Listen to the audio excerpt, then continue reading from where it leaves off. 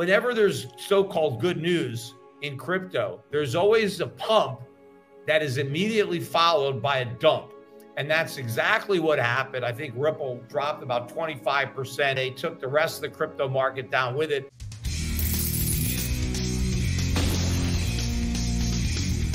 In today's video, Peter Schiff, founder, CEO and global strategist of Euro Pacific Capital, gives a warning that the 2008 crisis was just the prelude to a larger sovereign debt crisis in the United States that may lead to a collapse of the US dollar. This is all counterintuitive, ironic, that the dollar losing less purchasing power than anticipated means that the dollar loses uh, its purchasing power on international markets. So you would think it'd be the opposite. Uh, but I've explained for many reasons why this is the case. But the PPI was supposed to come out at plus 0.2 for June, and instead it came out at plus 0.1, so better than expected. There was an even bigger improvement in the year over year increase, which was supposed to be 0.5, and that was a lot lower than the 1.1 from the prior uh, a month year over year. That was revised down to up 0.9 and the June number came out at just 0.1, so barely positive. And even when you strip out the food and energy, the monthly increase was just 0.1 compared to 0.2 estimates. And the year over year was supposed to be 2.8, which would have matched the prior month. And instead, it came down to 2.4. So, more uh, better than expected data on prices uh, weighing on the dollar on Thursday and then again on Friday. So the dollar index actually dropped by 2.3% on the week. That may sound not sound like a lot, but when it comes to foreign exchange for a currency like the dollar, that is a big move. Significantly, the dollar index closed below 100. We haven't been at this level since May of 2022. So that's pretty significant. Also, I think psychologically, getting below 100 could be significant. You know, the US dollar rallied starting in January of 2021. That was kind of the, the low of the dollar. And we rallied from January of 2021 all the way through to September of 2022. That rally was almost 30%, maybe 29%. That is a huge rally. Now, since that peak, the dollar index is now down about 13%. It's still up a lot, but not nearly as much as it was. But what's significant about this is the main reason that the inflation numbers have come down as much as they have. I mean, even though we haven't come anywhere close to 2% on a year over year basis, we're a lot lower than we were, thanks in large part to the strength of the dollar that acted as a tightening all by itself. Yes, you had the Fed raising rates, you had the Fed shrinking its balance sheet, but you also had the dollar going up. That helped the Fed. That was a tightening in and of itself. Monetary conditions tighten when the dollar goes up. And so that helped bring down prices. Think about it from this perspective commodity prices are priced in dollars, at least for now. That's how they're quoted, that's how they're traded by and large. And so if the dollar goes up by 30%, those prices go up by 30% for every other country. And so that really results in a reduction in demand because of that huge increase in price. That brings down the price and that benefits the US because we have dollars. We create dollars. So we don't see a price increase in commodities when the dollar goes up. We actually get a benefit because more of our international uh, competitors who are bidding for those same resources get priced out. Their demand goes down because they're looking at these higher prices. And so then we get the benefit of lower prices. So the dollar, the foreign exchange market, was doing a lot of the Fed's work it was tightening without the Fed having to hike rates more. And a lot of the strength in the dollar was a byproduct of just rhetoric. The Fed being very tough, all that tough talk about how they were going to keep on fighting and doing whatever it takes to bring down inflation, that got you know, factored into the dollar. In fact, the dollar started to rally even before the Fed started hiking. It was because the Fed started to indicate that it was going to hike. The foreign currency markets got in front of that and started to discount those rate hikes and that tighter policy, and the dollar started going up. Well, the dollar is now falling because the foreign currency markets are again forward looking. They know that the Fed is either done hiking or close enough to the peak that the next significant move that the markets are looking for is an ease, and that's being priced in. But the fact that the dollar is already falling, again, that counts as an ease. So even if the Fed continues to hike, if the dollar keeps falling, that effect will be larger than the rate hikes. And so even though the Fed would be hiking rates, the re- weakness in the dollar will actually be negating those hikes and will have the effect of a cut because it will be loosening uh, monetary conditions. And as I've been saying, the weakness in the dollar is going to result in strength in commodity prices. Oil prices closed at about $7, $75.20 on on the week. We were actually down on Friday, but we've been gathering a lot of momentum. Other commodities, silver in particular, has been particularly strong, not just because gold was strong, but silver is also an industrial metal, a commodity in that respect, and it is um, also moving with uh, with the dollar. In addition to the dollar selling off on the week, the bond market rose a bit and yields came down on the back of the better than expected inflation numbers. But again, anybody looking at these numbers is looking in the rear view mirror. They need to look forward at the weakness of the dollar and the impact that's going to have on prices, import prices, energy prices, everything, and how that's going to affect future CPI increases. The markets, again, haven't figured this out. I think if you look at where the dollar is right now, we could fall very quickly from where we are down to about 90. And that's a 10% drop. That still wouldn't erase 100% of the dollar's rise since January of 2021, but it would erase most of it. Uh, and I think that's going to be an initial support area for the dollar. And I probably think that the markets won't be particularly concerned about the dollar as long as we're above that 90 level. But I think once we crack it, uh, you're going to see uh, some type of panic setting in in the bond market or in the foreign exchange market. And if it doesn't happen at 90, there will be a breaking point somewhere along the way. Remember, the record low for the dollar was just above 70 back in 2008 before it was saved, ironically, by the financial crisis. The next crisis is really a currency crisis, US dollar crisis.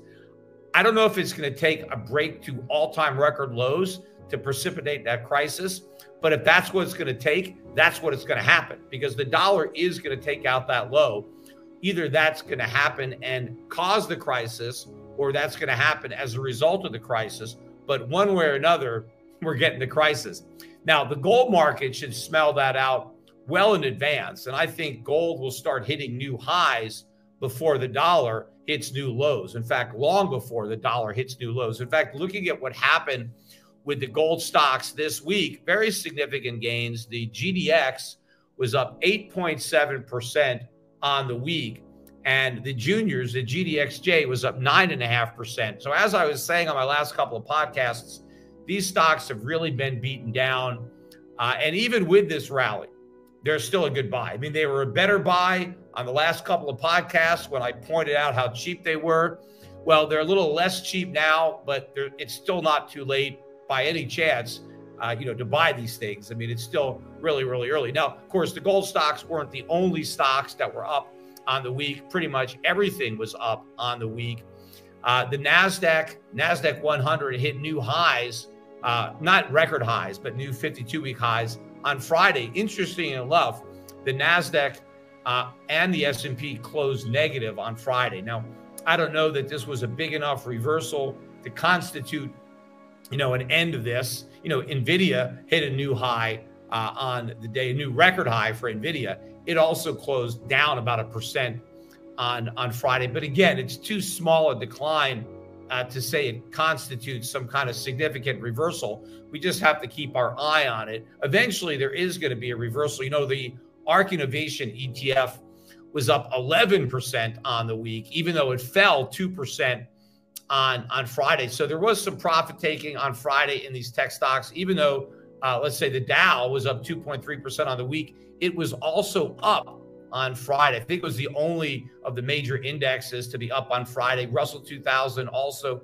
down on Friday, but still up 3.6% on the week. The biggest loser, though, on Friday was Bitcoin. Uh, the GBTC Bitcoin Trust still eked out a 0.3% gain on the week, but all of its weekly gains, or most of them, were wiped out by a 7.6% plunge on Friday. In fact, there was a lot of volatility in Bitcoin Thursday and Friday because you got a court ruling that Ripple was not a security, which is a good ruling. Uh, and that good news sent Ripple soaring, and you know it took the rest of the crypto market with it. Bitcoin got back above 31,000. But of course, whenever there's so-called good news in crypto, there's always a pump that is immediately followed by a dump. And that's exactly what happened. I think Ripple dropped about 25% on Friday, took the rest of the crypto market down with it. Bitcoin, which had gotten above 31,000, sold off to below 30,000. I mean, it's back above that level now as I'm doing this podcast, but we had all of that volatility. You know, there's been other news, of course, that has been driving uh, Bitcoin. One is the prospects of an ETF, a Bitcoin ETF uh, that is going to be brought out by Blackstone. And I was listening to the CEO, um, uh, uh, Larry Fink, who was on CNBC doing an interview, and he's turned into a typical Bitcoin shill. You know, this is the same type of conversion that guys like Kevin O'Leary made with FTX, because Larry Fink used to be a critic of Bitcoin. But now that he thinks he can make some money off of Bitcoin, all of a sudden he's a big pumper. And so he was on this interview on CNBC saying some absurd things. So, first of all, he said that gold, that the cost of trading physical gold was absurd or buying gold. He didn't say trading, buying. He said the cost to buy physical gold is absurd.